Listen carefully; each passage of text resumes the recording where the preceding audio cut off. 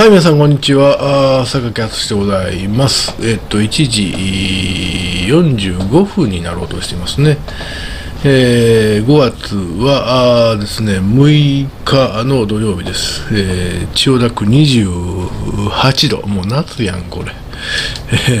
この部屋は26度ですね。はい。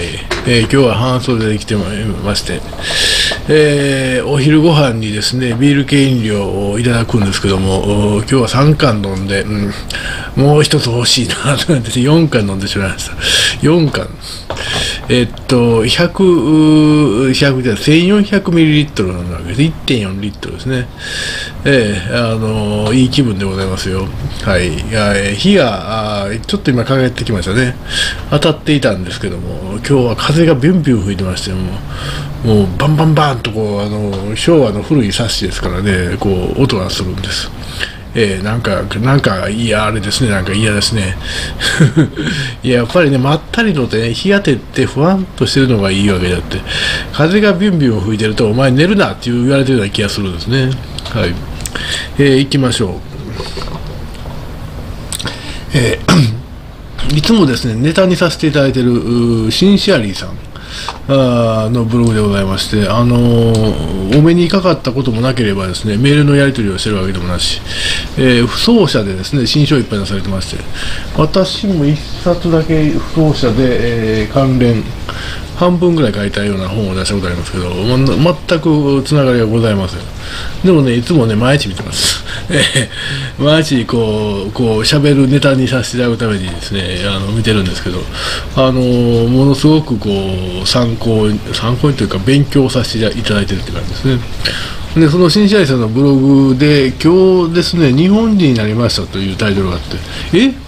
もう新試合さん日本人ちゃうのと僕は勝手に思っていたんですけども、まあもうだいぶ前にできたみたいですけどね。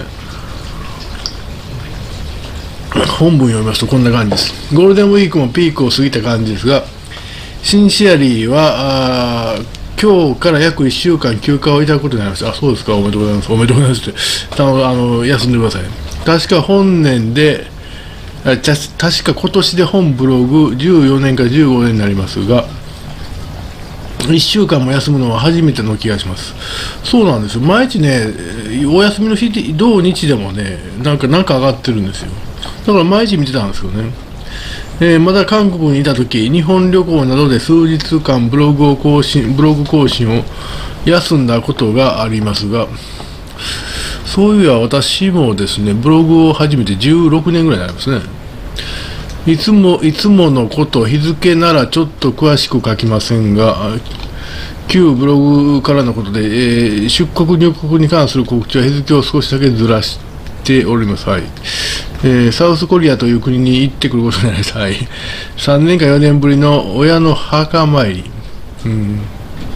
そしてそれぞれの家族及びそれに準ずる、かっこはてな、人たちに会って、まあ、親ご親戚ですね。いろいろ報告をして、そして前から気にしていた韓国から日本への資産移動を完了して、そうしてから帰ってきますと。ああ、ですね。おあの、お隣さんに帰られるわけですね。里帰りですか？皆様、私は日本人になりました。実は結構前に結果が出ていましたが、報告が遅くなったとお詫び申し上げ、別にいいじゃないですか、それは。えー普通、特殊な立場、例えばすでに帰化した人、または永住権を持っている人の家族とか、随分長く日本で暮らした、あ かっこ、ちゃんと加入すべきものには加入して、納付すべきものも納付しながらっていうのは税金払ったり、社会保険に払ったりというですね、人の場合は期間にかかる期間が短いという話も聞きます。でもあくまで一般的に期間は1年かかると言われています。あ、そうなんですか。これは期間の受付ができてから約1年のことで、実は受付ができるまでも結構時間がかかります。書類などがちゃんと備わっていないと受付が成立しません。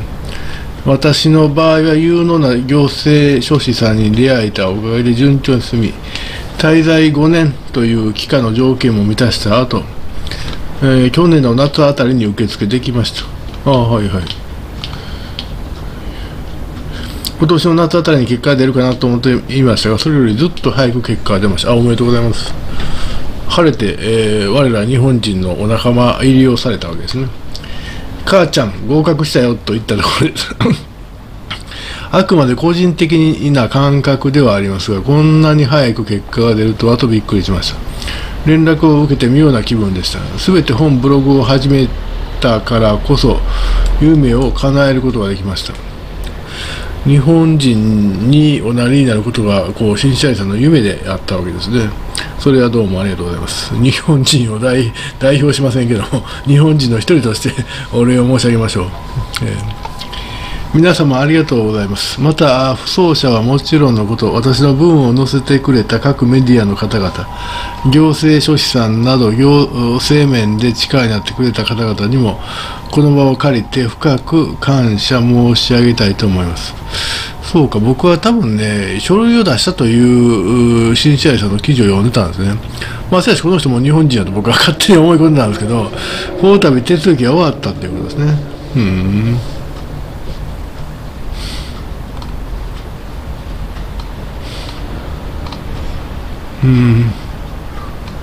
まああそうなると。もう残るのは2つだけ。家族と直接会って報告すること。そして家族に残韓国に残してきた預金を日本に送金することですと。あのまあおあれですね。お隣さんにまだ家族が残っていらっしゃるということでしょうかね。ご両親の墓参りとおっしゃってますからご両親はもうお亡くなりになっている。どうしたらご兄弟とか奥さん子供でしょうかね。うん、うん、まあそういうことことがつらつらと書かれてあります。うん。あの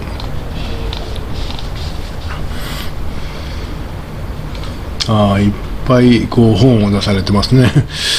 あのいや何冊か読みました。2冊ぐらい読みましたよ私。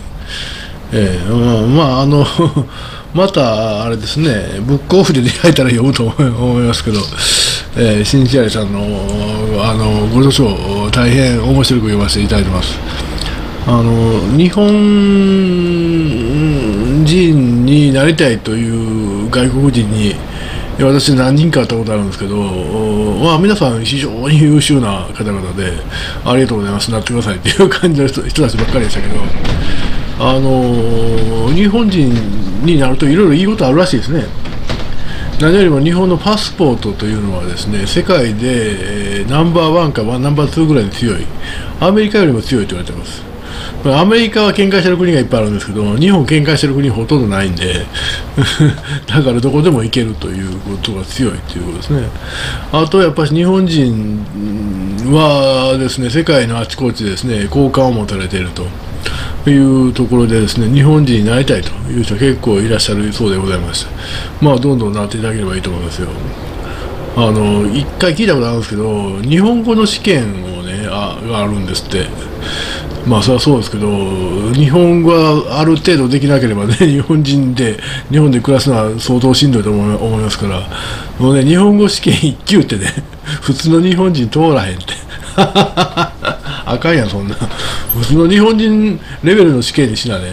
あの僕はね日本語を使ってあの仕事をしてる人間で文章を書いたり話したりとかですね。まあこうやってこう動画で読んだりとかしますから、うん、まあそんなにその日本語に対してコンプレックスないんですけど一般日本人でねきちんと日本語できないやつ多すぎますよ。はっきり言うて。あの大学の先生でもね実はねできないですよ。日本語が。あのちゃんとした日本語が書けないっていう人結構います。つまり人に読ませるレベルの日本語は書けないという大学の先生結構いるんですね。あいつら日本人になれへんねん。試験受けたらなれへんねんと。まあそれはいいんですけど。あの私の敬愛する新試合さんねあの日本人正式の日本人になられたそうでございましてこれはですねあの存じ上げないながらですね、えーあれですね敬がを申し上げたいと思いますね。よかったではないですからなりたいなってなななりたいと思われてなっていただいたわけですからあの一日本人として大歓迎をします。非常にこうね素晴らしい、毎回のこう ブログやですねご所長ご著書もですね拝読をいたしましたのぜひ日本人としてですねこの後の人生をですね、え楽しんでいただきたいなと思いました、えー、あの一応この新試合さんの日本人になりましたというブログのページをアドレス貼っておきます。今私どうでしょうね3割ぐらい読んだかなという感じでございます。はい皆さんどうもありがとうございました。